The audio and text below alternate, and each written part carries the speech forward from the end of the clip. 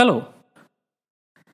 In this video, we're going to look at how automation can help in making your customer support team proactive. But before we begin, let's look at proactive support. What is proactive support?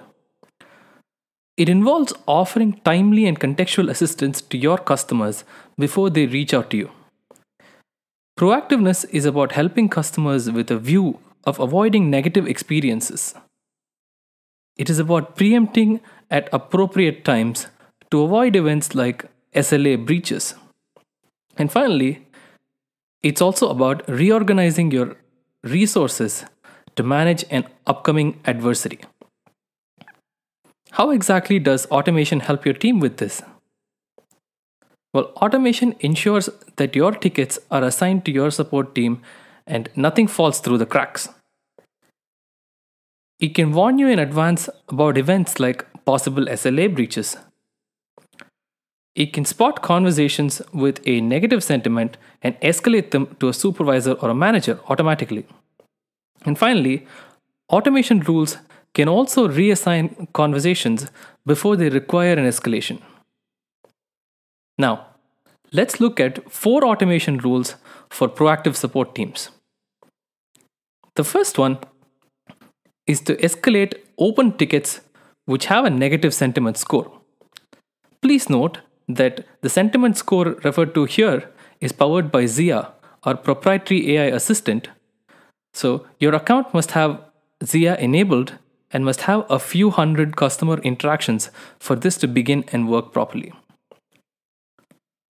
Let's see how to set this rule up. Click on the setup cogwheel in the top right hand corner of the screen. Now, choose Supervise under Automation on the right hand side. There are no rules in this account yet, so let's create the first one. Click on the Create Rule button on the top right hand corner. Give the rule a name. It's a good idea to give a name that you can recall and understand when you see a list of rules in the future. Keep the name simple. The rule is activated by default, so you can choose whether the rule works on calendar hours or whether it must adhere to your business's working hours. I'm going to stick with calendar hours for now. You can give the rule an appropriate description and click on Next in the bottom of your screen. Here's where you can choose what criteria must be satisfied for this rule to be executed. For now, let's choose status. Let's choose is open. You will notice that the system automatically includes even custom statuses that are mapped to the open status. Click on the plus sign and choose AND. Now choose sentiment and select negative here.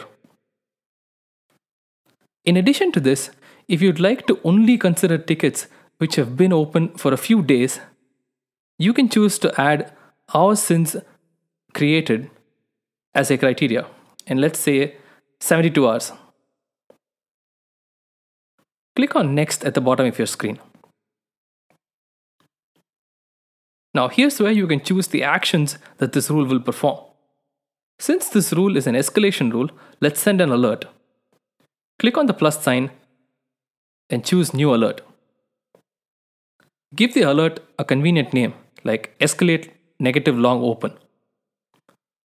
This is an email alert, so you can choose an existing email template or create a new one right here. I'm going to choose the existing one here. I've already created one. Now you can choose whom to send the alert to. I'm going to choose roles and then select manager since this is an escalation. You can also choose to notify the ticket owner, the customer, the co- customer's uh, account manager, or any other additional recipients, but we'll skip those for now. Click on Save. Click on Save again, and now the rule is created. This rule will automatically send an escalation email to managers in a particular department when a ticket created three days ago is still open with a negative sentiment value. That's the first rule. Now let's head to rule number two. This is an interesting one. When customers reach out for help and your team recommends a solution for them, they often come back if the solution doesn't work, and seldom come back if the solution does indeed work. Over time, this leads to a number of open inactive tickets without a customer response for days. These tickets skew your reports and make it difficult to get real idea of how well your team is doing. Now this rule takes care of that problem. Let's see how to create the rule. Click on create rule. As usual, give the rule a suitable name like close inactive open tickets. Make sure it runs on the appropriate business hours. I'm going to leave it on calendar hours for now. You can then give the rule a suitable description like this. Now click on Next. Under criteria, choose Hours since requester responded is greater than, let's say, 240 hours. That's 10 days. You can choose whatever is appropriate for your business. Now click on And. Let's choose Status is open. Now, if you notice, this does not include all of the custom statuses that are mapped to the open status. This includes only the open status alone. Click on Next.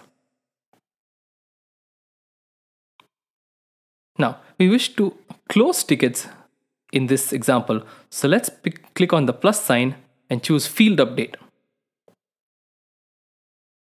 You can create a new field update action here. I've already created one and I'll use that. Click Save and the rule will be created and ready for your use. Any open tickets in this department with no customer response for 10 days will get closed automatically. That's it for the second rule. Let's move on to the third one. Escalate tickets with no response in the first hour. This rule is great for proactive teams that want to commit themselves to a swift first response.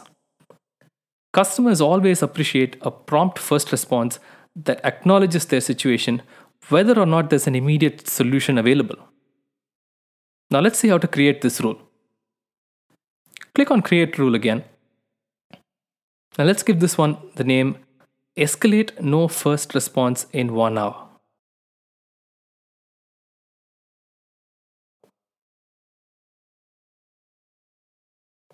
Let's choose UK business hours here for a change. Let's give it a suitable description.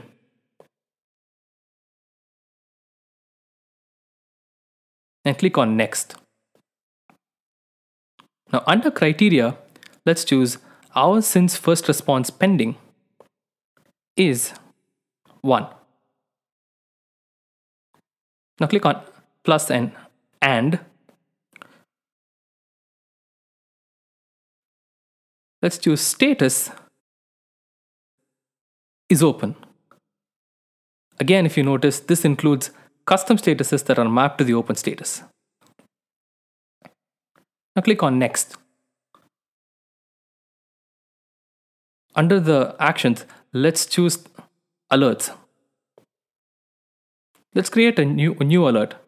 You can give the alert a name or you can reuse it in uh, other rules and you might want to create in the future. You can associate an email template for this rule. You can also create your own email template from scratch right here. I've already created an alert, so I'm going to choose from an existing list. Let me choose Delayed First Response Escalation. This alert notifies all managers in a department about a delayed first response. Now click on Associate Alert. Now this alert has been associated with this rule. Click on Save and the rule will be created. Simple as that. That's the third rule. Let's move on to the last one for the video. Assign unassigned tickets due in one hour. This is really useful for teams that don't use direct assignment rules to assign tickets automatically. Now, there's a chance that a few tickets might slip through the cracks and remain unassigned. However, the SLA clock starts ticking the moment the ticket arrives and continues ticking regardless of whether the ticket is assigned or not. This particular rule ensures that unassigned tickets that are due in an hour are automatically assigned to a manager in the team. Let's see how to create this rule. Click on Create Rule. Let's give it the name Assign Unassigned Tickets Due in 1 Hour.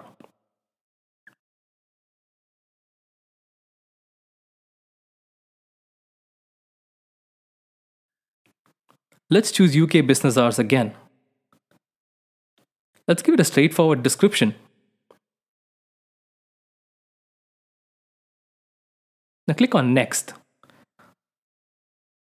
Under Criteria, let's choose Hours to Due Date is 1 and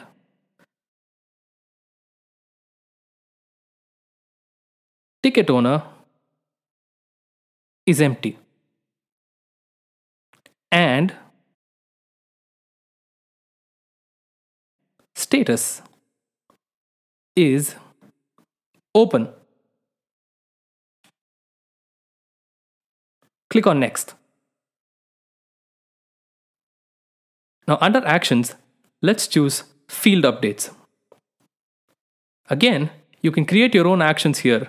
I've already created a field update here, so let me go with that and choose that. This field update changes the ticket owner to the name of a particular agent, Don Evans, on the team. Click on Associate Assignment Value. Now we're done. Click on Save and the rule will be created. That's the fourth in this video. These are the top four automation rules for proactive support teams. We'll look at more such rules in another video. In the meantime, if you have any questions, feel free to tweet out to us at Zohodesk or send an email to support at zohodesk.com. Thank you for your time. Cheers.